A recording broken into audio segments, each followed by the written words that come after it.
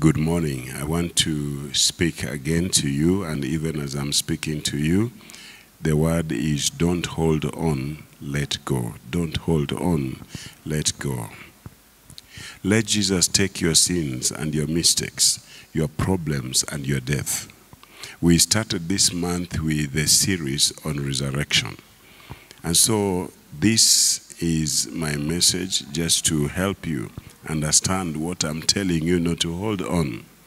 The Bible tells us in Matthew chapter 11 verse 28 to 30 says, Come to me, all of you who labor and have heavy, are heavy laden, and I will give you rest.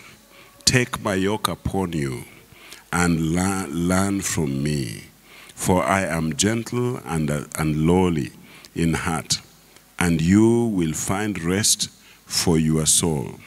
For my yoke is easy and my burden is light. Don't hold on, let go. It is important for us to understand that many times we come to God and we come to God to pour our hearts. In a Holy Communion service, we say all our problems, we send the cross of Christ. All our difficulties, we send the cross of Christ and all those things, all the devil's work. God wants us to go and offload on him, to release ourselves on him. And a time comes when we find ourselves with yokes that cannot be carried, burdens that we cannot bear. But God is calling us to come and release ourselves to him. In John chapter 1 verse 29, John the Baptist, when he saw Jesus coming towards him, he said, Behold the Lamb of God who takes away the sins of the world. Behold the Lamb of God who takes away the sins of the world.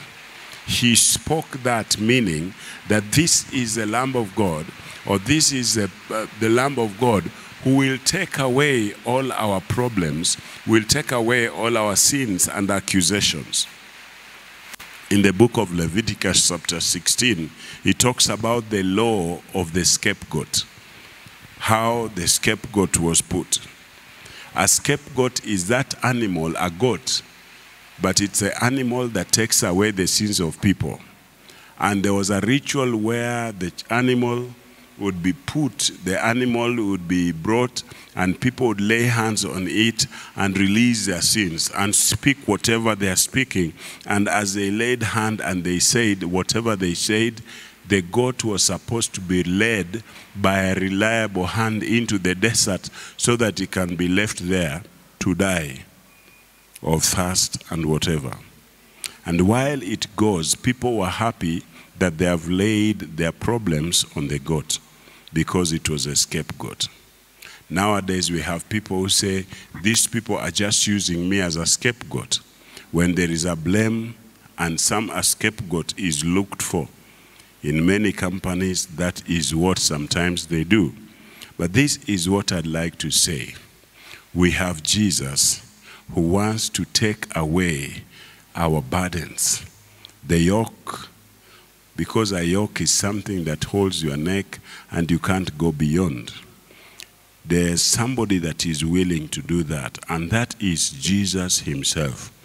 Because the Bible tells us, by his, but, but he was wounded for our transgression. He was bruised for our iniquity. The chastisement that was to, to, for our peace was upon him, and by his stripes we are healed. He took the weight, he took the burden and he released it on us. And he took it from us. And he said, Take my yoke upon you, because my burden is light.